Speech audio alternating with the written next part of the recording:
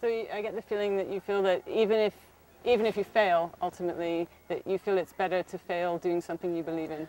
Noble, something noble. This is stuff that inspires the world. When Nelson Mandela, you know, he came out, I was in Boston, he, he was in Boston Commons, he came, you know, and there was these hundreds of thousands of people all crying, you know, and they're not all blacks. It's white people who put in a little work for to help South Africa out. Everyone was in tears. It made people more noble that day mm. to have even had a small, to have participated in a small way in that thing. And the Tibetan cause could be yeah. the same way. Don't just, uh, you know, let's go and hunt some celebrities in Sharon Stone. We don't need them. We need, you know, we need kids. We need the good people, the dreamers, you know, and we'll get them. No, we will. You really believe that Tibet will be free one day? Oh, absolutely. I know what I'm going to do also.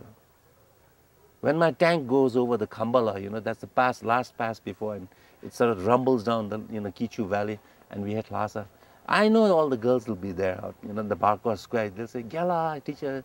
They'll have kataks and the chang, and all my boys, and we'll all be there. And, yeah, you know. And, and they'll say, have a chang, have my chang. Not before you kiss me first.